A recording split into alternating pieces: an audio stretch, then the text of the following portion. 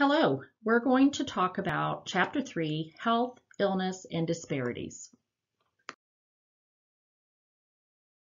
We're going to pause here on this slide for just a few seconds. And I'm hoping you've got something to write on and a piece of paper because I want you to try to think about how do you define health? So think about that for a minute. Some of you might be thinking, well, health is when someone is in good physical health, they don't have any signs or symptoms of disease, they are able to perform their tasks, such as going to work, being able to bathe themselves, paying their bills, making enough money to do that, having a support system in place. All of these things might be terms or things that you thought of that would help us to define someone healthy. But believe it or not, there are several different definitions to define health. And by the time we get to the end of this PowerPoint, you might just agree that someone can be a diabetic but still be healthy.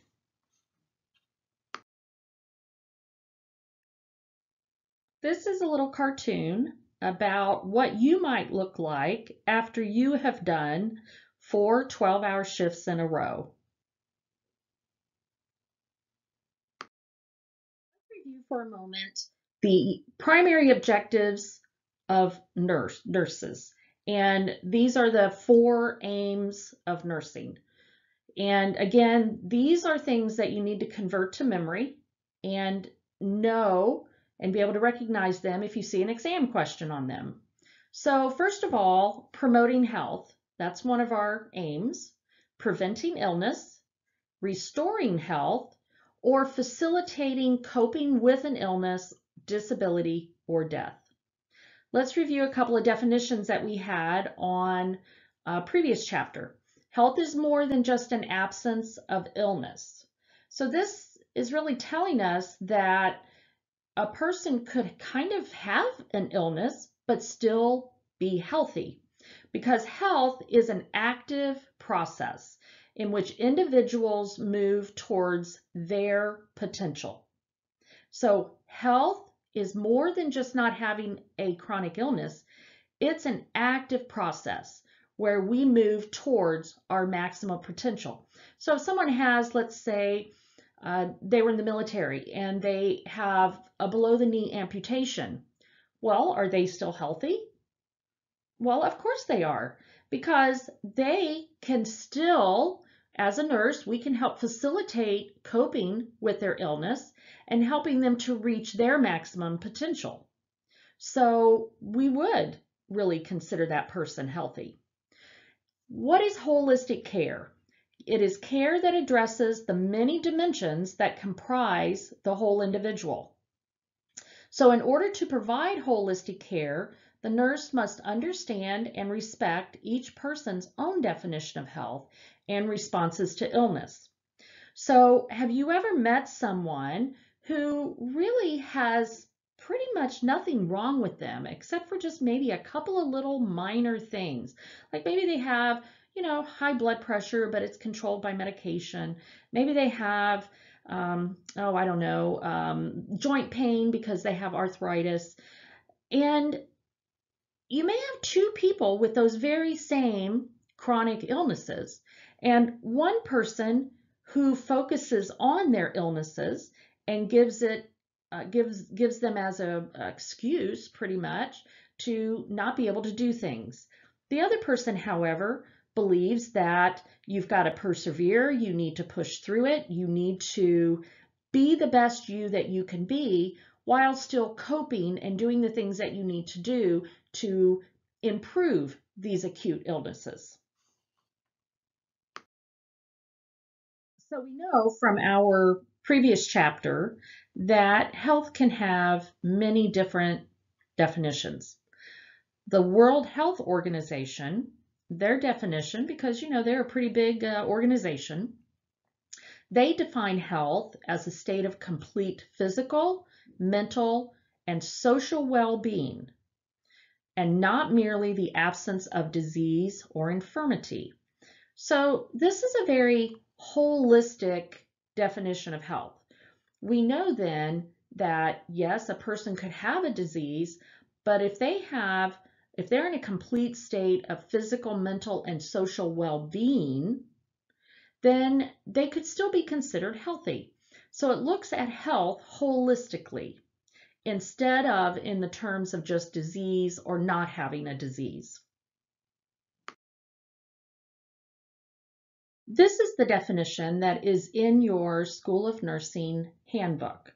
And I like to put this one in there because as a nursing organization ourselves, we have defined what we believe to be um, a, a state of health. So health, we, de we define it here at Ivy Tech School of Nursing as a state of complete physical, mental, and social well-being, and not merely the absence of disease or infirmity. Okay, so that's from the World Health Organization, right? Well, we go on to say the enjoyment of the highest attainable standard of health is one of the fundamental rights of every human being without distinction of race, religion, political belief, economic, or social condition.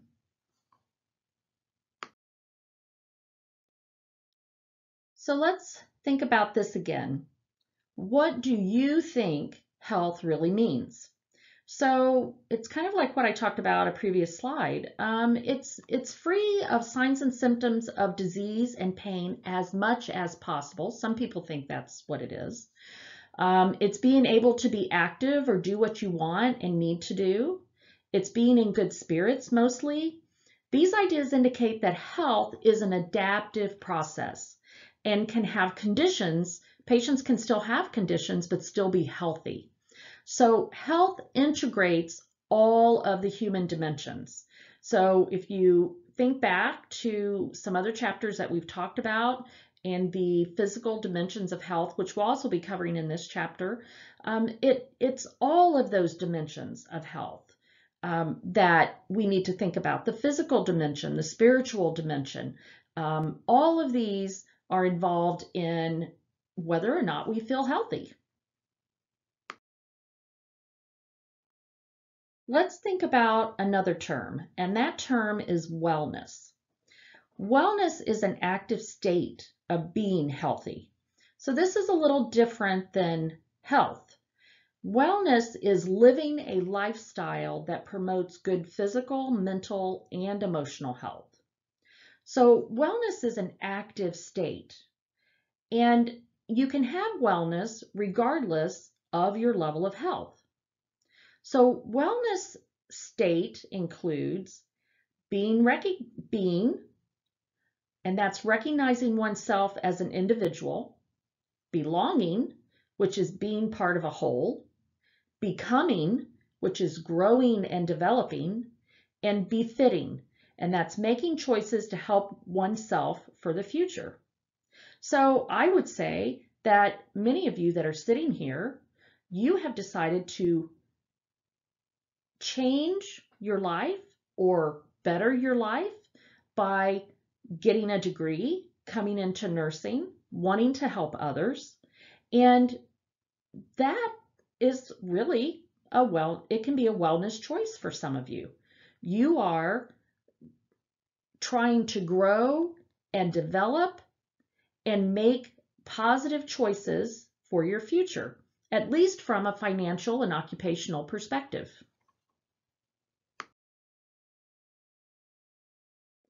So let's look at another definition, and that is disease. Disease is an alteration of body function causing reduced ca capacities or shortened lifespan. It's more objective, it can be seen or proven. And disease has an etiology. Now it's important that you understand the definition of etiology. Etiology is the cause of the diagnosis, the cause of the disease, which acts together to bring about a diagnosis.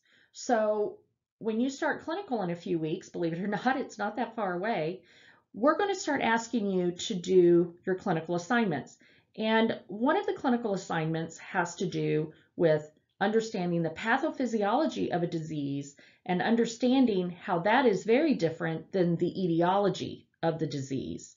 So pathophysiology is what is happening at the cellular level that causes the symptoms that we are seeing. What is going on at that very fundamental level? But etiology is what causes that disease to start in the first place. Now we're going to talk about some another definition, and that is the definition of illness. I'm going to talk about that for a few slides. But first of all, illness is the response of the person to a disease. Illness can affect our level of functioning, and it can change based on a previous level of functioning. So illness can cause a change to how we are able to function. Uh, response, different for each person. So how we each respond to illness can be very different. Some people who tend to focus on the negative can respond very differently to having an illness than someone who is super positive. They decide to focus on the, the future and being the best they can be at that moment. Illness can be influenced by self-perceptions then. Terms of disease and illness are often used interchangeably. So someone can say that I have I'm a diabetic, I have this disease of being a diabetic. Other people say, oh, I'm ill.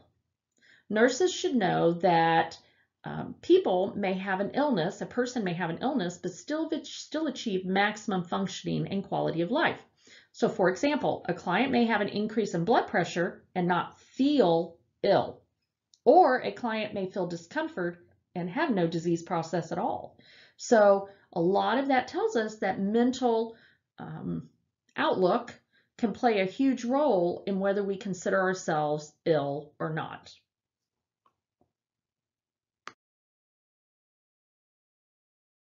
There can be a variety of causes for disease. Certainly inherited genetic defects can lead to illness and disease, developmental defects, biological agents or toxins, physical agents such as a change in temperature, chemicals or radiation, generalized tissue responses to injury and irritation, physiologic and emotional reactions to stress can cause us to have a disease.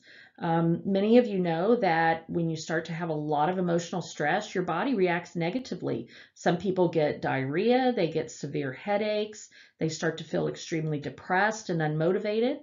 So emotional health is also very important. Excessive or insufficient production of body secretions. Um, this can cause disease as well. Disease as well.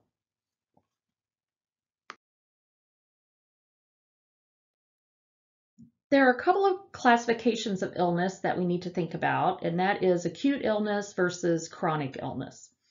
And we've talked about this before, but just as a brief review, acute illness usually comes about from a rapid onset, and it's usually very self-limiting. It only lasts for a short period of time. However, acute illnesses can be life-threatening, uh, but others could be managed with medications, either prescribed or over the counter. Uh, an example of that would be high blood pressure. Um, an example of an acute illness that could be life-threatening would be getting an infection and becoming septic. That's acute, came on suddenly, but it could kill you. Um, if, if a medical if medical care is required, specific treatment with medications or surgical procedures usually can return a person with an acute illness back to normal functioning.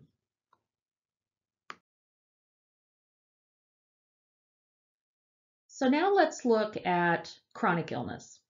And it is a broad term that encompasses many different physical and mental alterations in health with one or more of the following characteristics. Chronic illness can be can cause permanent change. Uh, causes or is caused by irreversible alterations in normal anatomy and physiology. So, for example, once you become a diabetic, uh, a, well, I should say a severe diabetic, then just changing your diet and exercise alone may not enable you to cut completely off of insulin. Uh, however, let's say if you um, are becoming a diabetic because of the significant lifestyle choices that you've made, then you might be able to get to a place where your body doesn't require as much insulin and you could recover. But once you have reached a certain place within an illness, then you usually cannot reverse it. Chronic illnesses can require special patient education for them to rehabilitate and for them to understand how they can cope, which is, of course, one of our aims of nursing. And sometimes a chronic illness can require a long period of care or support. Uh, they usually have a slow onset as opposed to the acute onset, which is rapid. They may have periods of remission, and, re and the term remission means uh, the disease is still present, but you're not experiencing uh, symptoms at the moment. Uh, we see that a lot with uh, lupus, for example. Patients can go long periods of time in remission where they feel fine, but once they have an exacerbation, which is the next term, uh, where the disease reappears or the symptoms of the disease reappears, the disease really doesn't go away, then you may have to actually be uh, put in the hospital because you may need significant treatment, medications, IVs in order to uh, get you back into remission.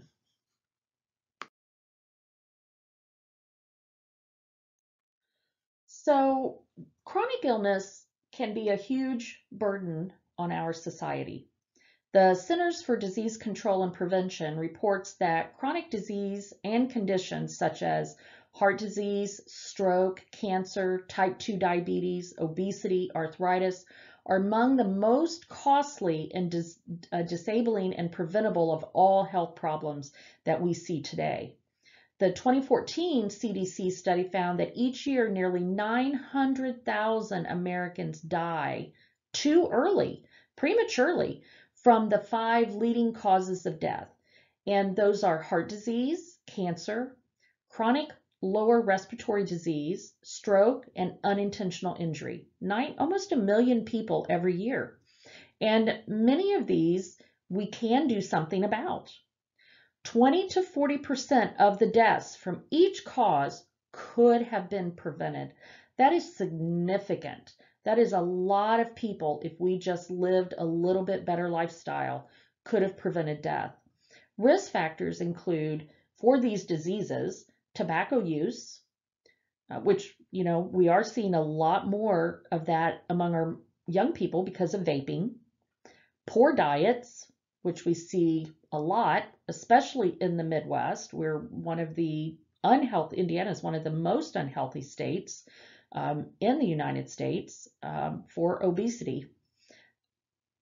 Physical inactivity is another problem, both strongly associated with obesity, excessive alcohol consumption, um, uncontrolled high blood pressure, and hyperlipidemia. All of these issues can um, be changed if we would just participate in a healthier life. So why don't we? Why don't we do those things? And that's kind of what we're going to talk about in the rest of the PowerPoint today is why don't we make these better choices? Why is it if we're a smoker, we continue to smoke, even though we know it can cause um, COPD, uh, it can cause an early death, it can cause lung cancer. Why do we still do it? Why are we so obese? And why don't we exercise? So nurses must be involved in health promotion and illness prevention. It's one of the aims of nursing, right? We need to be involved in promoting health and preventing illness. Uh, individuals will need to adapt to the chronic illnesses that they now have. And they're going to have to learn how to live as normally as possible and maintain a positive self-concept and sense of hope. Uh, ADLs, relationships, and self-care activities may have to be modified based on these chronic illnesses.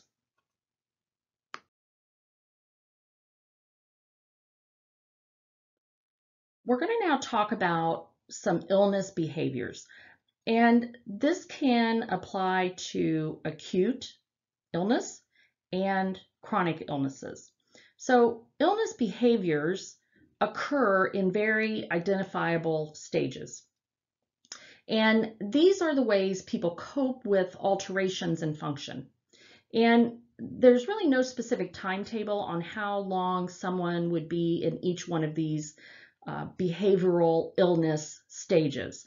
But let's talk about them. And I want you to think about even yourself.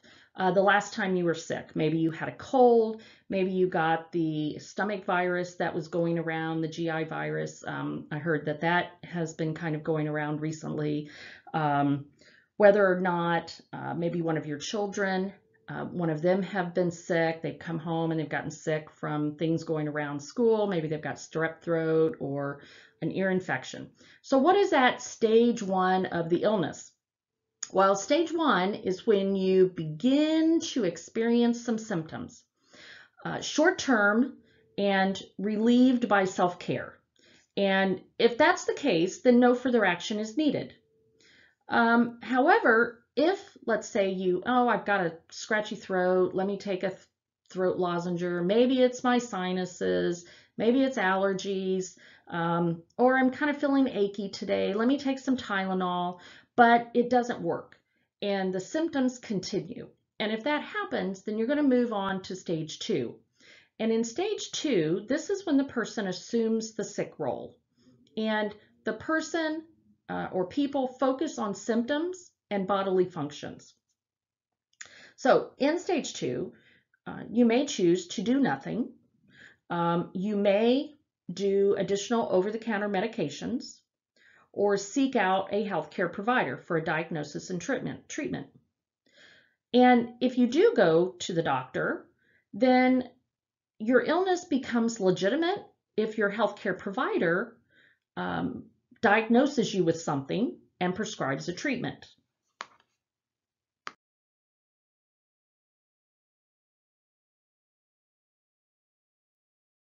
Stage three is assuming a dependent role.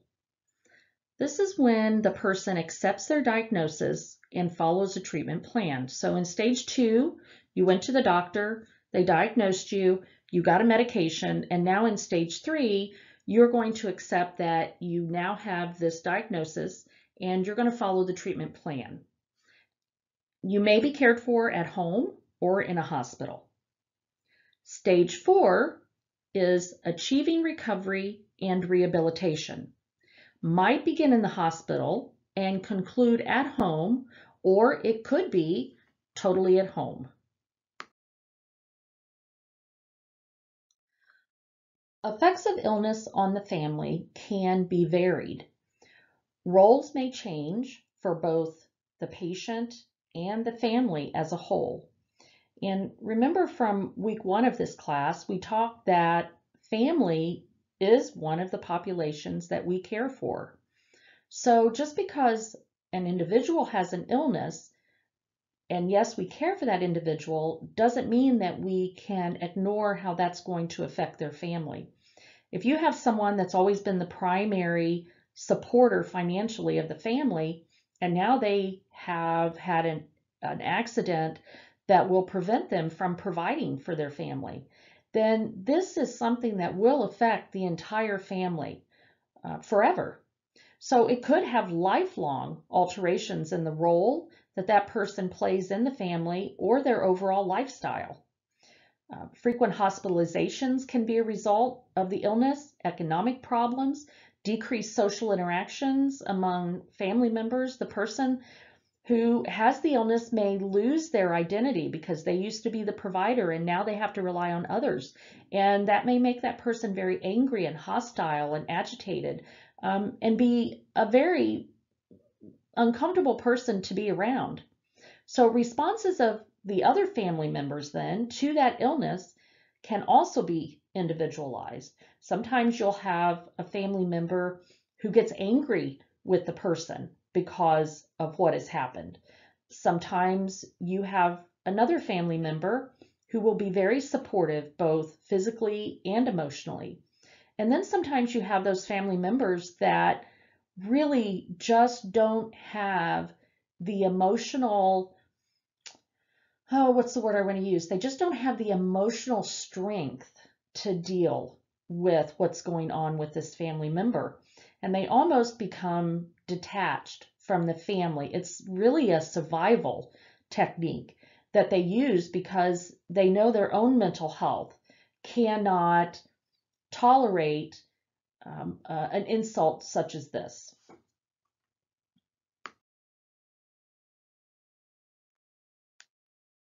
Factors affecting health and illness.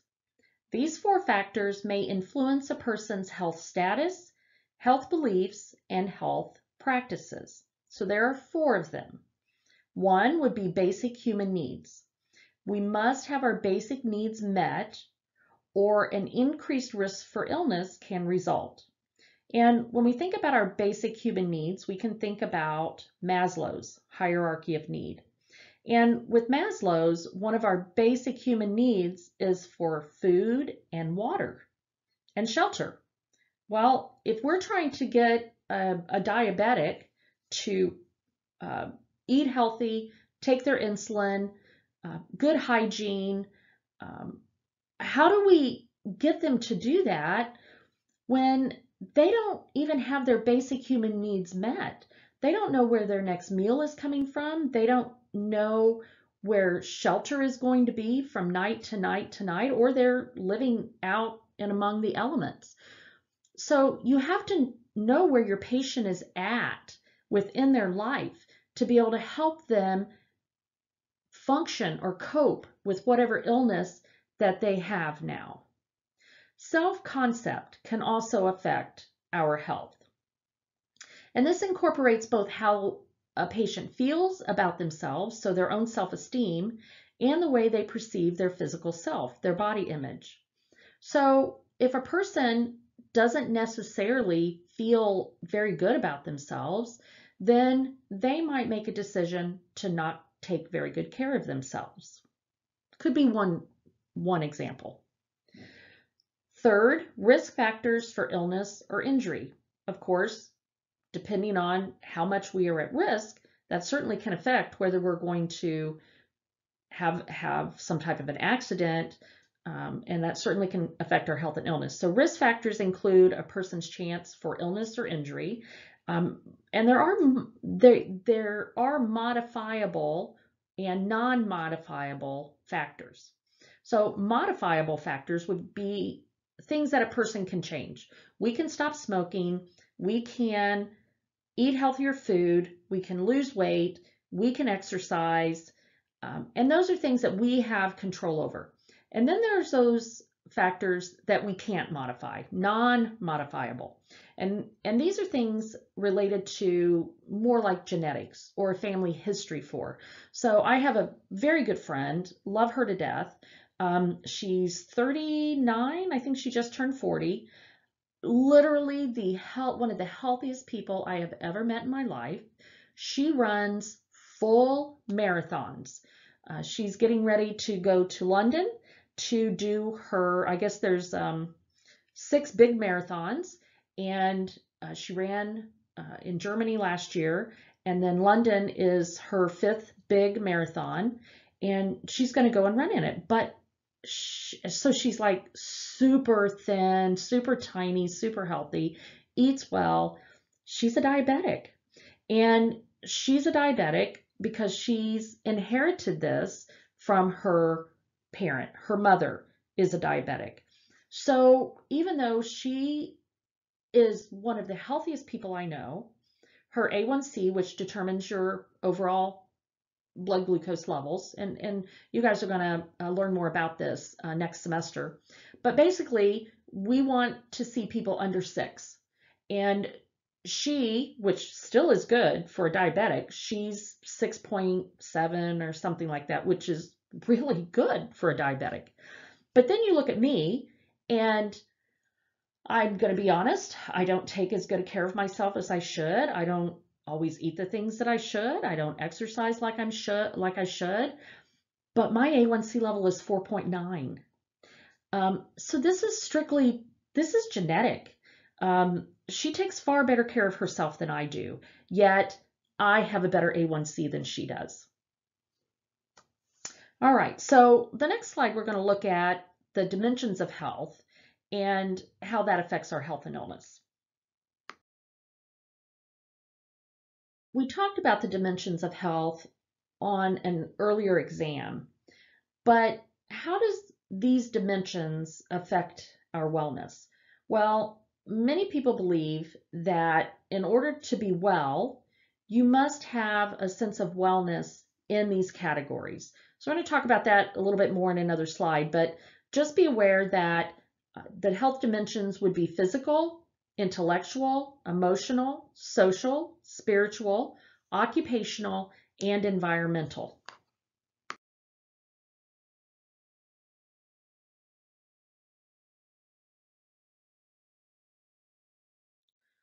So when we think about the physical dimension, again, this is things like genetic inheritance, your age, you can't do anything about your age, your developmental level, your race, your gender, ethnicity. Um, those are the physical dimensions that we really can't do a whole lot about. Uh, emotional dimensions is how the mind affects the body, function, and responses to body conditions. We can, in fact, influence our emotional dimension by trying to do activities that helps us to de-stress. I know a lot of you at this point in the semester are feeling probably overwhelmed, uh, an immense amount of stress. So still recognizing that and taking a little bit of time to focus on you and doing activities that cause you to de-stress. The intellectual dimension, and this is cognitive abilities, your educational background, past experiences, how have you learned and grow grew from those experiences? And how can you apply those things to future issues? Environmental dimensions. This would include things like housing sanitation the climate you the climate you live in the air pollution the food that you have access to. You know we hear a lot on the news now about food deserts within our own city of indianapolis.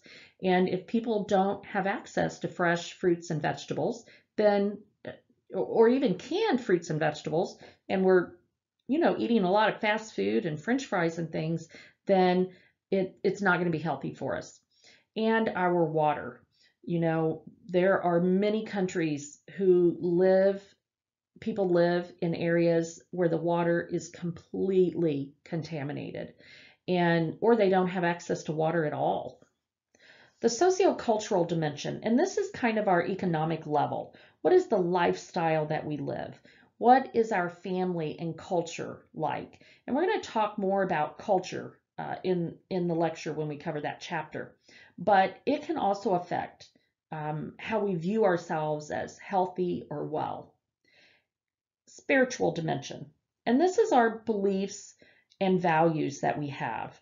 And when I say spiritual, it doesn't necessarily mean that the person must believe in a higher power, there are people who do not believe in a higher power, but still consider themselves to be very spiritual.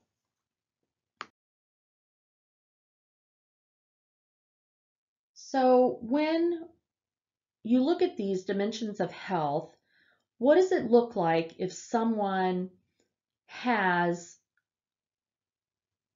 fulfilled that dimension? Or what does it look like when someone has a problem in that dimension of health. So we're going to look at that with each of these for a moment. Physical, of course, you're able to carry out your daily tasks, practice positive lifestyle habits, you have good nutrition, you don't abuse drugs or alcohol or tobacco. But if you have an issue in the physical dimension, then this might be someone who is not well physically. They may have a drug or alcohol addiction. Now, these are just little short examples. It can be other things as well in this physical dimension, but I'm just giving you little short examples. Social dimension, this is where you're able to interact successfully with people. You might show respect and tolerance for those who are different than you, those that have different opinions or beliefs about life, but you're still able to be respectful of them. Um, if you are not well in the social dimension, then you may not be well socially. You could be depressed, you could be withdrawn, you may show signs of prejudice and anger towards others. The emotional dimension, and this is the ability to manage your stress. Um, all of you are under a lot of stress right now with being in school, trying to cope with finances, with school, with family obligations. And if you're not well, if you're not emotionally well, then you're not going to be able to handle the stress. Maybe you're someone who does not cope well with stress and you haven't learned coping mechanisms for dealing with stress. But you can learn those. You can learn coping strategies. Intellectual human dimension. And this is the ability to learn and use more information. And that's really what you guys are doing right now. I mean, you're in class, you're trying to learn, you're trying to learn this information well enough to be able to go out and care for patients, to save patients' lives. This is not just, oh, I'm going to be a job and let me just have a secure job and make decent money. I mean, this is how you can change people's lives and how you can save people's lives. So if someone is not healthy in the intellectual dimension, then they may not be able to process learned information. So they may just not be able to um, learn things as quickly as others. Now, there are people, there are people who learn information extremely fast. I mean, you can show it to them one time and they've got it. And then there are other people that you have to kind of think about it a while. You have to study it for a little bit. You have to work maybe a little bit harder than someone else. And I think of myself in that category. I was never a student in nursing school that I could look at something one time and I had it. No, no, no, no, no. I had to study. I had to really, really study to get it in my long-term memory. So all of us are a little bit different in this regard spiritual dimension. And this is where you have a belief in some force that provides meaning and purpose to your life. And again, like I said, that may be a higher power, it may not be, but you do believe that in something that that provides some sort of meaning and purpose to what you do. And this dimension also includes your moral values, what do you believe to be good and evil, right and wrong, and the values that you place uh, as important? If you have children, what are those values that you're trying to instill in your children? Do we want them to be honest and always tell the truth? Um, what about when you pull into a parking lot and the child just opens the door really hard and slams it into someone else's brand new car?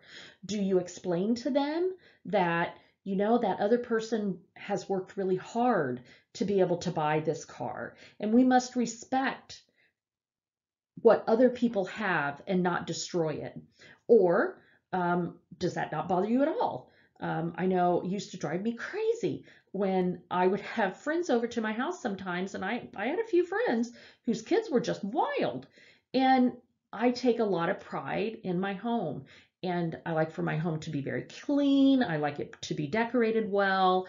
Um, I like it to be neat and tidy. And um, I never allowed my own children to walk around my house with a cup with an open drink in it or with uh, carrying a cookie or a cracker that's crumbling all over the floor. Um, I taught my children that you eat and drink at the at the table. Um, so when somebody would come over and they would give their their child an open cup of water or not water even an open cup of juice and here's a cookie and there they go all through the house spilling the coke crumbs of cookies it would just drive me insane because I felt like it was disrespectful for uh, for what I had worked so hard for. So for me, I would always teach my children when we would go to other people's homes to be respectful of other people's things. So this is what I'm talking about. It's not just believing in a higher power per se, it's how are you instilling and living the morals that you have and the values that you have. Um, if you are not healthy from a spiritual dimension, then you could display unethical behavior. You know, nursing is one of the most trusted professions in the world. Uh, consistently, when uh, surveys are done and asked, uh, what occupation do you trust the most? And nursing tops the list every time. In fact, most of the time we're number one um, in that in that list. And that's important to our profession. That's important to us. We want to be an ethical profession. We want to instill into our new nurses that are coming along in their education that we want you to continue that pattern of allowing us to be the most trusted profession. So unethical behaviors would be things like you have a patient that's supposed to be turned every two hours, but yet uh, you didn't get much sleep today. You were tired. Maybe your child was, you know, misbehaving. You got a couple hours sleep. You're tired. Well, you're just going to document that you turned the patient every two hours, but you really didn't. That's unethical. That's wrong. Not to mention it's illegal. Um, you could get your license taken away for documenting things that you did not do. But we know that from a moral perspective, this is a patient who can't turn themselves and they could get a significant skin breakdown that could be completely debilitating and ultimately cause them to go into sepsis and die. Uh, putting a Foley catheter in someone, if you decide, eh, I'm just, I don't really care to do sterile technique. Um, I didn't have time to learn all those sterile technique rules when I was in school, and I still don't know what they are, but you know, whatever. Um, and yet you're you're causing your patients to have urosepsis left and right, and they're going to go on to some of them die. I mean, yeah, you may not know it because you don't work in ICU and you transferred them off the unit um, or they get readmitted and go to another unit, um, you may not ever know that you're the one that ultimately caused their death because you did not use sterile technique when you put that Foley catheter in. So our job, our profession, is not about just um, barely doing what it takes to get by. It's about making those ethical decisions and doing things in an ethical manner.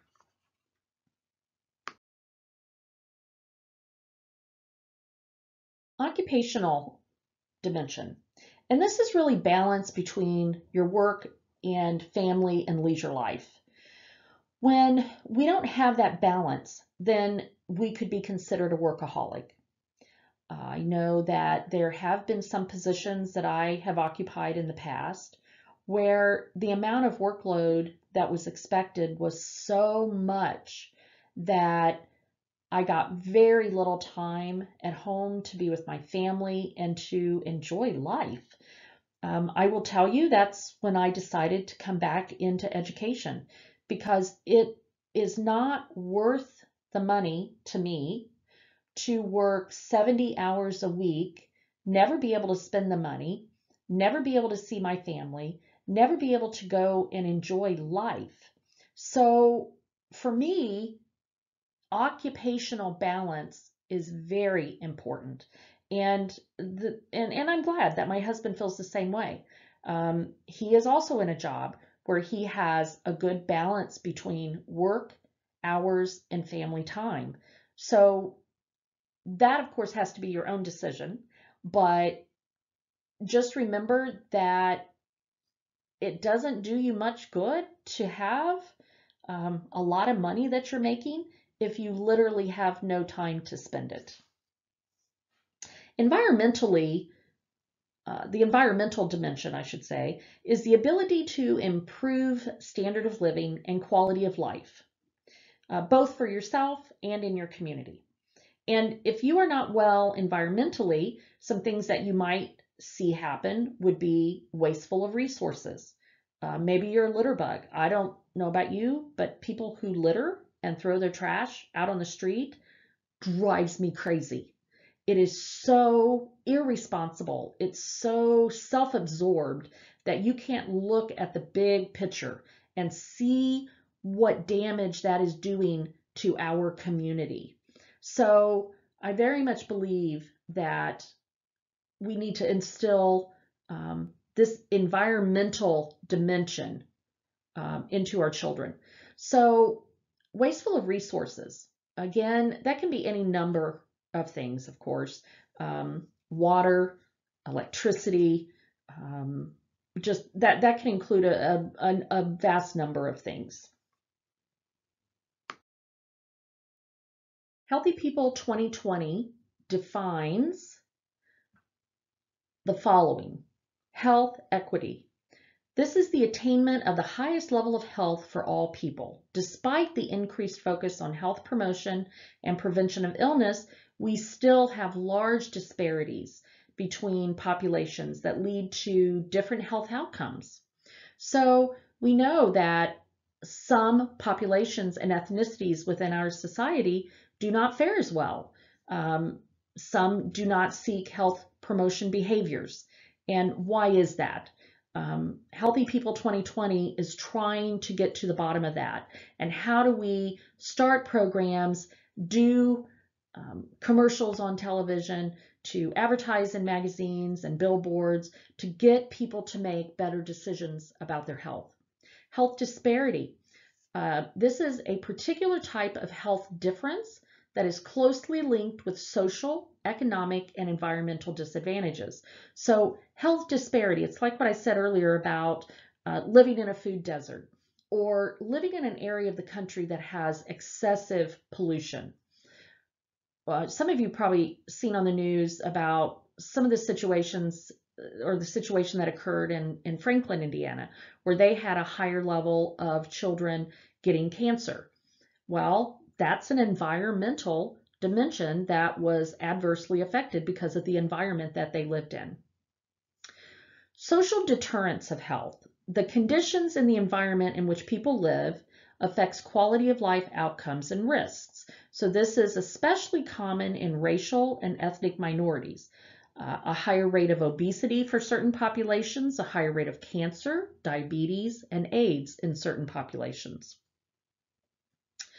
And by the way, AIDS uh, is much more prevalent now in the heterosexual community or the straight community. Uh, we're seeing a lot more cases of AIDS than we are in the gay community now.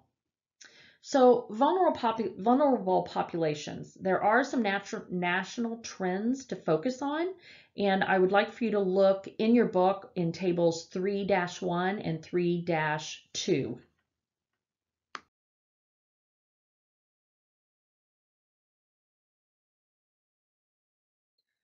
All right, so go ahead and take a second and read this question.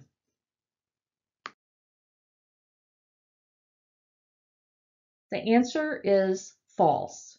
A person who defines oneself as sick and self-medicates or visits a doctor is said to be in stage two of the illness behavior, and that is assuming the sick role. I love that we have such a diversity here at Ivy Tech, and I like to break up my PowerPoints with little cartoons. This one says, I'm proof that you can be young and still go to nursing school.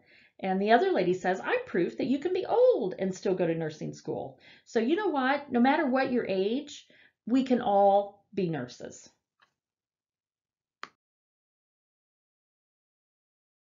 We are moving now into the different models of health. And what I mean by that is we've kind of talked about health and illness and disease and the human dimensions and how we can um, based on those human dimensions, how that can affect our health and wellness, the difference between acute and chronic illness. This part of the lecture is now going to explore why do we make the decisions that we make about our health. Models of health are just really different theorists um, have developed in an attempt to explain health and sometimes its relationship to illness or injury.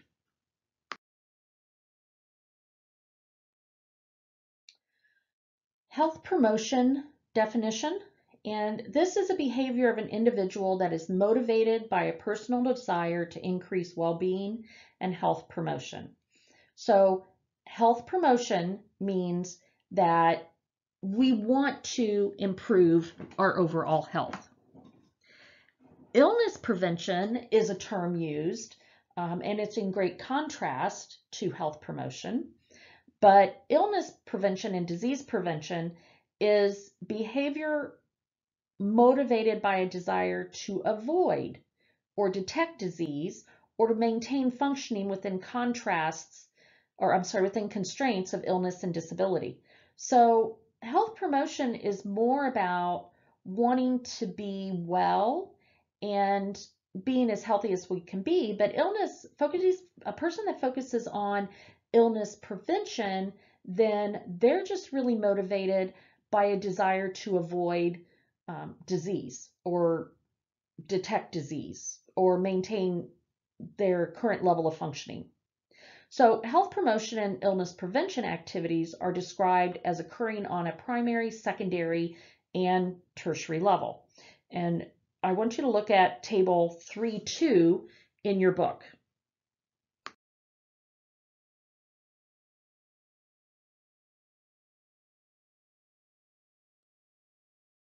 So here is some of the information that's from that table.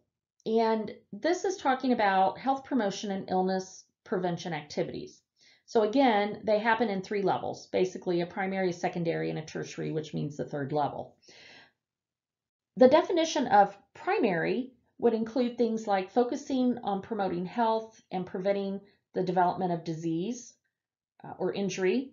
And the specific activities, nursing activities that you would see in this primary health promotion and illness prevention level would be immunization clinics. A nurse could go and give uh, flu shots, uh, accident prevention education. So maybe you might go and give a talk about um, the risks of drunk driving. Uh, you're participating in a health fair where you're doing blood pressure screenings, family, plan family planning services, educating the public about health promotion and how to prevent illness and health risk assessments where you're you know helping with an exercise clinic or a quit smoking clinic the secondary type of prevention uh, or health promotion and prevention would be focusing on screenings for early detection of the disease with prompt diagnosis and treatment. So the goal here is to identify illness, reverse or reduce the severity of the disease, or provide a cure. And nursing activities that you would see in this level of health promotion would be encouraging screenings. Uh, for example, encouraging people to get their mammograms, to get their yearly pelvic exams, um, going in and getting prostate exams. Um, so that would be things that you would see on the on the secondary level. So encouraging these screenings, administering medications that the patient should be on, and caring for wounds. Uh, assessing children for normal growth and development would be an example of this and making sure that they're on the right track, encouraging regular medical and dental and vision examinations. Then the third level of health promotion and illness prevention would be the tertiary level. And this focuses on uh, the person after the illness diagnosis has already occurred and is treated to help rehabilitate the patient to a maximum level of functioning. So education, educating those with the chronic disease on how to prevent complications of that chronic disease, uh, physical therapy, support group referrals. Um, again, other examples might include uh, teaching a patient about how to manage their diabetes, recognizing complications of their diabetes, which would be higher low blood glucose levels, using physical therapy to prevent contractions uh, in a patient who has already had a stroke or a spinal cord injury, referring a woman to a support group after removal of a breast cancer because or breast because of breast cancer. So these would be all um, tertiary levels of health promotion and illness prevention. And you're probably sitting here right now thinking, well, this is stupid. Why do I even have to know this? What what is the reason behind this? Because health promotion and illness prevention is huge. It is becoming more and more important in our society, and nurses play a pivotal role in this activity. Also, you're going to be hit hard on your NCLEX exam. about health promotion and illness prevention behaviors. So uh, I know, for example, when you go into your last semester with us, uh, the last eight weeks, you're going to take a, a capstone course. It's your nursing caps, capstone class. In this class, you are going to take, it's one of your ATI exams, you're going to take a predictor test. And this is a predictor test that shows us how likely you are, if you were to sit down right now and take your NCLEX, how likely you are to pass. I'm going to tell you that it's health promotion, understanding health promotion and illness prevention is one of our lower, lower scoring categories. So I'm spending a little bit more time on it this semester because it's so important that you understand that there are things we can do in the primary level of health promotion to try to prevent the person from getting the illness to begin with. So talking about accident prevention, educating our patients, um, doing health risk assessments. You know, another one is uh, I don't know if your children have ever come home and said, oh, they checked my back today at school. That's a scoliosis screening. So all of these are primary things that we can do to help promote health. Again, secondary health promotion and illness prevention would be encouraging uh, screenings, uh, like our uh, yearly appointments, um, encouraging our family members to get their mammogram, to get these tests done on a yearly basis. Colonoscopy, for example. You know, you're supposed to have a colonoscopy by the, colonoscopy by the time you're 50. And I'm going to share with you, quite honestly, I haven't had it done yet. Um, I should have had it done years ago. And my goal this year is I'm going to get it done. But okay, I'm going to tell you, I'm going to share with you a little bit of a fear that I have. I can just see myself getting ready to, uh, or going to sleep, then doing my conscious sedation, getting ready to do my colonoscopy. And when I wake up and I look over, there's one of my former students staring at me and they just got to see my butt. I gotta tell you, it kind of freaks me out a little bit. So, um, I don't know. I just haven't had it done yet. But it's stupid, right? It's really incredibly stupid for me to not go and get this done because it can catch polyps long before they turn into colon cancer. So fear of students seeing my butt or not, I am going to go this year and get my colonoscopy. Um, and the third level of health promotion and prevention, again, is how do we help our patients deal and cope with their disability? Um, and and that's going to support groups seeking therapy if they need to, physical therapy, emotional therapy, things like that.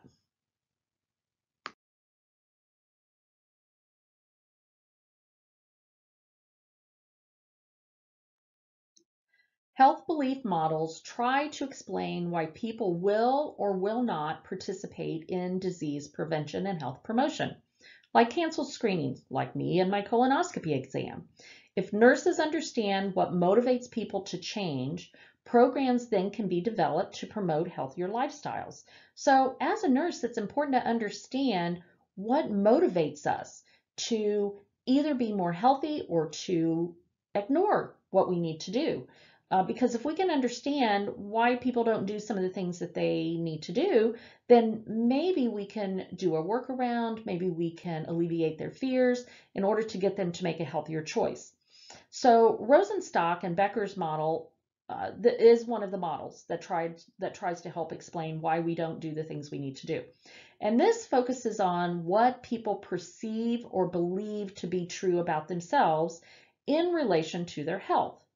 And the model is based on three components of individuals' perceptions of the threat of disease. So Rosenstock's model believes that there are really three things that we need to think about when we're trying to figure out why do people, you know, make the choices that they make. And that is the individual's perceptions, the modifying factors, and their likelihood of action. So we're going to talk about these for, I don't know, three or four slides. So an individual's perception. Do you perceive yourself as one of three things? Do you perceive that you are susceptible to the disease? Do you perceive the disease to be serious? And do you perceive that the benefits, you will have positive benefits if you act? So for example, um, and I'm not picking on smoking, but it's an easy one to look at when we look at these models. Um, uh, my oldest son is a smoker and I try to talk to him all the time about it. But so let's think about smoking.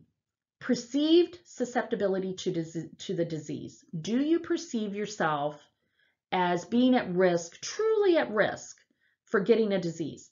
So family history may make the person feel more susceptible and at an increased risk, or it may make them feel less susceptible.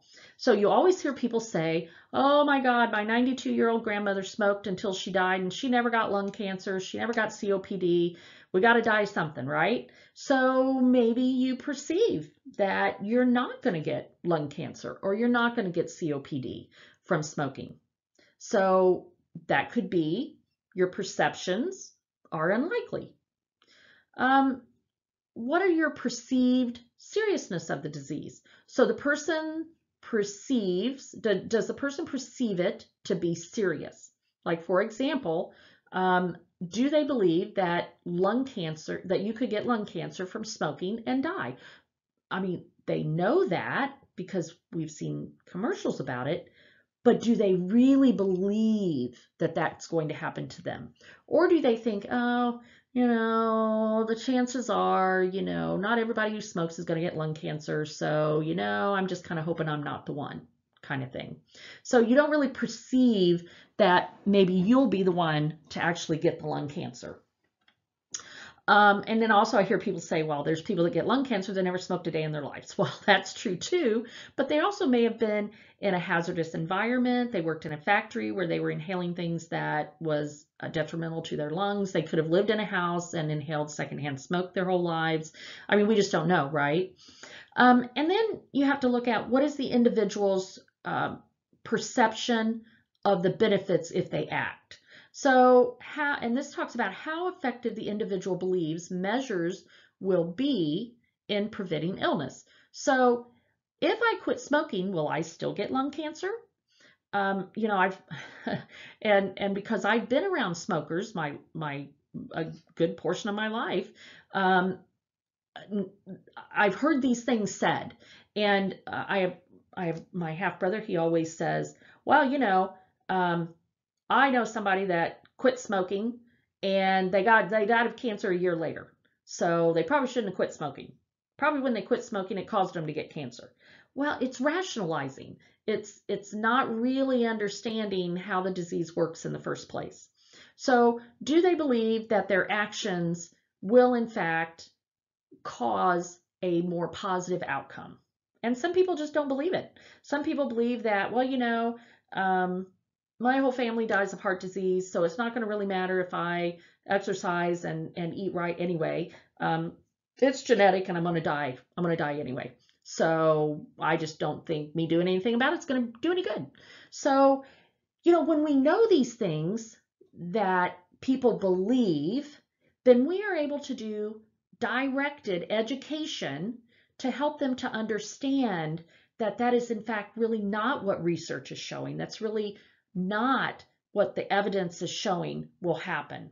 And sometimes it's just a lack of education. And by educating our patient, we can change their perceptions and we can change their beliefs. The next thing is modifying factors. Are factors that can modify that can modify a person's health beliefs and perceptions about susceptibility and seriousness of illness. So what are these modifiable factors? And modifiable factors would be things like age, sex, personality, peer group pressure, knowledge about the disease, cues to action, advice, media campaigns, you know, those little reminder postcards you get in the mail that says it's time for your yearly mammogram again, um, or illness of a significant other can cause us to modify our health beliefs and perceptions about things.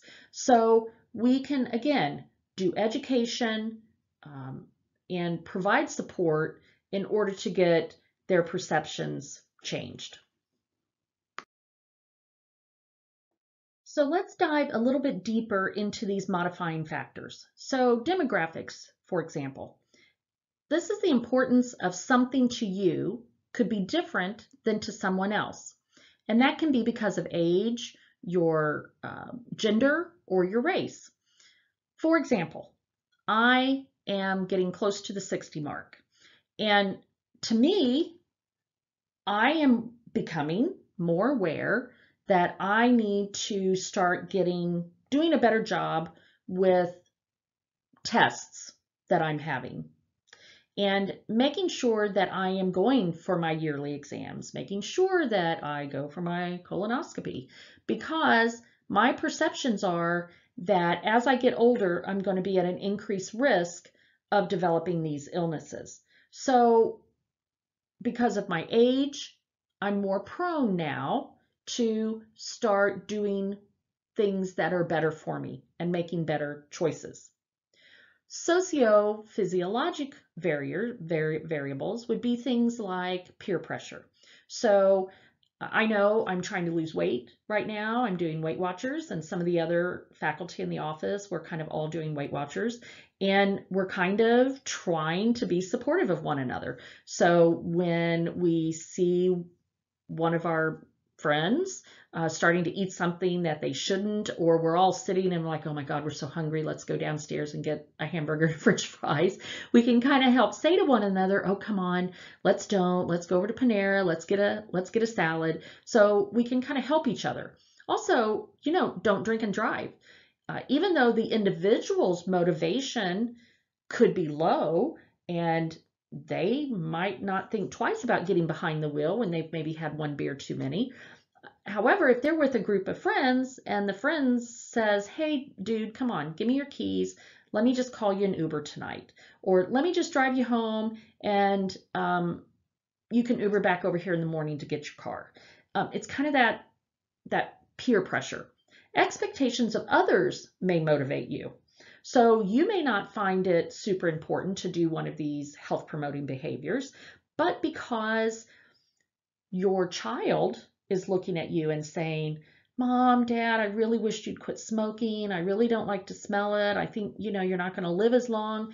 You might not quit for yourself, but you might quit for your child.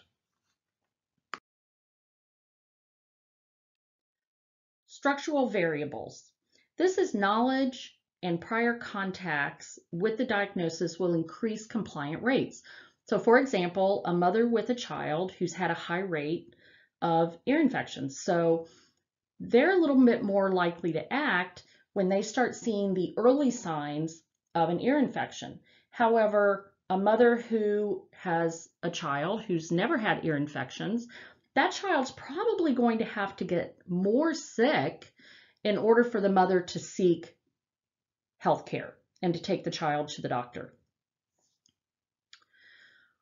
We're going to now move into cues to action. And these are what are the things that make us act to take better care of ourselves. And there are both internal and external cues to action. Internal cues or stimulus would be unpleasant symptoms. So if you feel awful, you're probably going to go to the doctor and see what you can do to start feeling better again. Uh, maybe medication. Um, you're more likely to make a lifestyle change if you have unpleasant symptoms. My brother right now, for example, um, he is pretty overweight. Um, I mean, it, he, he's definitely very overweight. And he's also having severe back pain. Uh, he's done a lot of heavy work in his career, so he's pretty much destroyed his back. And he's having severe back pain. While the doctor's already told him he's not going to do surgery on him until he loses 50 pounds. That has now motivated him to get the weight off because he's in so much pain from his back. So that would be an internal cue to action. The pain is forcing him to lose the weight in order to get surgery to get rid of the pain. External cues to action would be like we talked about a moment ago, reminder postcards that it's time for your yearly mammogram, um, or uh, advice from others, uh, magazine articles. I just found out the other day that another one of my good friends, I asked her, I said, when have you had your mammogram? And she said, What was the last time that we went together. That was three or four years ago. So I chastised her. And now the next time I see her, I'm going to ask if she's made her mammogram appointment. So these are the things that can help stimulate people to action. Likelihood of action is the final reason Rosenstock believes people will either take action or they won't take action. And likelihood of action means whether or not a person perceives that the benefits of acting is greater than the barriers of acting. So benefits, preventing lung cancer by not smoking or exercising and eating a low calorie diet to lose weight. Are those benefits going to outweigh the barriers of doing them? So barriers would be things like lifestyle changes. It's inconvenient. It's too hard to watch what you eat. Oh my goodness, I don't have time to cook a healthy diet. All I've got time to do is run through the drive up and grab a burger and fries. Um, other barriers would be unpleasantness, colon colorectal exam, or having that colonoscopy because I don't want any of my students seeing my butt. Um, so that would be a barrier. Costs could be another barrier. Um, it costs money to have certain screenings done. And if people don't have insurance uh, or they have a very high deductible, they may not go and have treatment because they don't have the money to pay for it. So benefits, people have to believe that the benefit of doing and acting in a certain way or manner will be better and will outweigh the barriers to that behavior. So as nurses, we play a major role in helping our patients choose healthier behaviors. You can help them reduce the barriers to action by minimizing inconveniences and discomfort. So for example, another reason why someone might not change their eating habits, maybe they really don't know exactly what to eat. Um, I know I've been talking to my brother and trying to help him with losing weight. And, and I'm going to tell you, I've talked to him in the past, but he wasn't really motivated to learn. Um, he perceived that the benefits were not great enough to outweigh the barriers. Well, now that he's having severe back pain and he can't get his surgery until he loses weight, now he's beginning to believe that the benefits outweigh the barriers. So now he's kind of trying, trying, finally kind of listening to me about some of the things that he can do to try to get some of this weight off. And he's more willing to try things because he's at a different place in his life. And uh, so I'm, I'm helping him with education. I'm, I'm helping um, him to understand some of the things that he needs to do. Also, I went with him to his doctor's appointment, and uh, the orthopedic surgeon um, really, really kind of blew me away. Orthopedic surgeon looked at him and just said, "Okay, well, I want you to lose 50 pounds, and um, after you do that, go ahead and come back and see me." And I said, "Well, are, are can are you going to send him to a dietitian?" Uh, no, we don't normally do that. Um, and I had to say, well, I really want him to go to a weight loss um, place. And I said, I know IU has a weight loss clinic. Um, insurance would pay for it. So could you write a referral for him to go to a weight loss clinic? And uh, in fact, he did. But it kind of blew me away that he wasn't going to do that until I asked for it. So the point I'm trying to make here, guys, is that you are there for the patient. You are there to advocate for the patient. And when the doctor doesn't recommend something or encourage the patient to do something, you can talk to the doctor about that and say, you know, I really think it would be a good idea if we uh, have um, dietary uh, come and talk to the patient about a healthy diet and how to manage their diabetes. I mean, of course, we can do that too, but dietitians are specially trained in that. So advocating for your patient and trying to educate them to remove some of these barriers so that they will make healthier choices is vital. All right, guys, this is my favorite cartoon in the whole PowerPoint. I absolutely love it. This is when this nursing student that looks like she's half dead says, I love nursing school, but it's causing me stress, poverty, and lack of sleep. And her friend says, well, you better learn to adjust because you've only been in nursing school for one day. I love this one. It makes me laugh all the time because it's so true. And you guys are probably feeling like this right about now, right?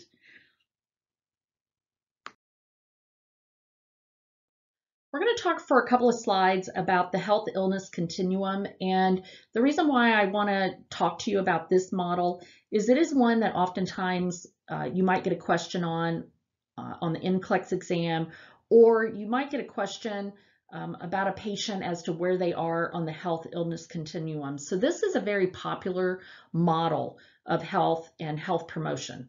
So you really do need to just kind of um, remember this one, remember what it means.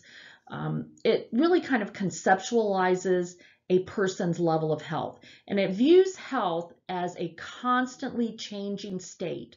Uh, you can go from high level wellness all the way to death, which is on the opposite end of the continuum. And it illustrates that health and wellness is this very dynamic, ever changing uh, state of health. So, you know, one month you might be in good health, and the next month you might be sick as a dog because you got a horrible stomach virus, uh, GI virus, and uh, you just feel terrible. So you're no longer functioning in your day-to-day life. Um, it just depends. Um, so you you can move up and down the scale as you progress in life. We basically have three more slides that I'm going to cover, and then at the end, you've got some questions and answers that you can uh, look at on your own. So I've added these few slides to this PowerPoint because it's in the new edition of the textbook. And it's kind of a, a buzz um, word right now is the change model and stages of the change model. And it's how do we get people to change? So this model is often used to help people with addictions. And some of you may choose to work in a mental health field. You may choose to work with uh, drug and alcohol dependency patients, or you may be working with these types of patients and they're on your unit because now they have pneumonia. Um, and maybe you could be a key person in helping them to understand how they can uh, better their lives. Um, it is widely used today by counselors addressing a broad range of behaviors, including injury prevention, overcoming drug and alcohol addictions, and weight loss. Um, figure 3-4 in your book illustrates this model, and I've also included it on the following slide. So briefly, I'm going to talk about this table, and then we're going to talk about each of these in a little bit more detail on the next slide. But the model of change starts with the pre-contemplation stage, so right at the very top. And this is where the person has no intentions on changing behavior. They may not even know there's a problem yet. Then it moves down to the contemplation stage. Okay, they're aware there's a problem, but with no commitment to action. Um, and they've made no commitment to change that behavior. Then you have participation, and that's intent on taking action to address the problem. The person um, is intent on kind of uh, buying in to trying to change their behavior. Action, active modification of the behavior. Maintenance, sustained change. New behavior replaces the old behavior then oftentimes we have a relapse. The person falls back into their old patterns of behavior. And we know this, guys, you know this. Um, many of us have known people who are alcoholics, who have drug addiction issues, who are overweight, terribly overweight. And the change model tries to help us understand how we we we we start we start thinking about first denying there's a problem and then ultimately trying to change but then relapse uh, occurs where you fall back into your old habits. And then um, after relapse you can have an upward spiral. So each time a person goes through the cycle they learn from each of their relapses and hopefully grow stronger so that the relapse is shorter or less devastating and that they get back on track faster. So yes, relapsing is unfortunate, um, but oftentimes it is a process of the change model. And we can't get too discouraged when a relapse happens or completely dismiss that person from our life because we hope that with each of the relapses that they will learn and that it'll be a longer period of time before they relapse next. Or the relapse is super short this time. It's not as bad. Um, so those are the things that we hope come out of out of it. So again, we're going to look at these five stages and talk about them uh, a little bit more. So that pre-contemplation stage, the the author of this uh, change model believes that there are four R's, uh, four reasons why we don't start to change. And those are reluctance, rebellion, resignation, and rationalizations. So the reason that it's important to know that these four, these are kind of the four reasons why people don't necessarily believe they have a problem, um, because counselors can, can then validate the lack of readiness to change and encourage self-exploration. So treatment would be focused on self-exploration rather than just telling the person, well, you have a problem. You're just, you you need to, you need to quit. Instead, if the person doesn't come to terms with that themselves, then counseling may not work. It's not going to work. So how do we get the person to look inside and explore what's going on with them? Contemplation. Uh, people can be very ambivalent about the need to change their behaviors. So how can counselors or nurses help? They can help by focusing on educating about the pros and cons of the behavior and change and clarify that the decision to change is one that only the individual can make themselves. Um, this is an important stage in the change in the change theory. So again, uh, just like in the first stage, we try to get people to self-explore, um, and in the second stage, we try to help them focus on what are the pros of changing your behavior, what are the cons of changing your behavior, so that again, the the person is exploring the reasons for changing determination. And this is hopefully when they make that commitment to action. Now the decision is made to move forward and preparation ensues. So counselors are most helpful in this stage by helping people make realistic plans with small steps that anticipate difficulties and by identifying creative strategies to address the difficulties. Uh, it's helpful to affirm that the individual has the ability to change their behaviors. So it's like weight loss, for example. Um, you know, you can say, oh, well, I, you know, I want to lose 20 pounds in a month. Well, that's really not realistic. That's really not a realistic plan. So when you're not losing five pounds a week and you get on the scale and you've lost a half of a pound, then you've set your, go your goals so high that it's like, well, I might as well quit. It's not going to work. Um, so again, counselors can help people make small, realistic changes and to identify that the difficult and help them identify the difficulties that are going to be ahead of them. Action, and that is implementing the plan. When someone publicly begins to implement the plan and begins to achieve success, it reinforces that decision to change their behavior. So if family and friends and coworkers understand that the person has decided to eat differently or stop drinking, um, they start to become supporters. And counselors can bolster the person's ability to change by reiterating those long-term benefits of changing. And um, we as nurses, family members, we can help people by um, giving them positive reinforcement. Maintenance, relapse, and recycling. During this stage, people focus on sustaining that new behavior in a stage that can last, you know, six months to five years. Counselors can be helpful by exploring strategies to support the new behaviors and by continuing to support them during their relapses. You know, and and saying that, you know, hey, yes, I know you're disappointed that a relapse has occurred, but what can you learn from this? What about it this time was different? What did you do differently? How did you feel differently? And this can help the person focus on what did they learn from it instead of having such a defeatist um, mentality about it. They, it. It helps them to um, accept that this is also part of the learning process and that each time they do relapse, hopefully positive things can come from the relapse.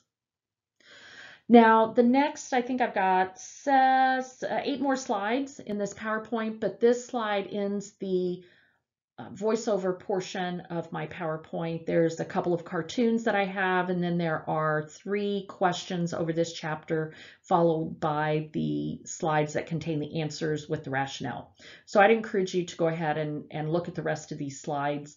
Um, again, um, we kind of talked about, um, you know, what are the what are the definitions of health and illness, and what motivates people to make healthy decisions, what motivates us to continue to make poor decisions, and how the nurse can affect change by understanding why a person is doing something that they do. Because we can intervene, we can do education, uh, and we can help them to understand the pros and cons of changing and how can we help them make a plan that'll help them to be successful.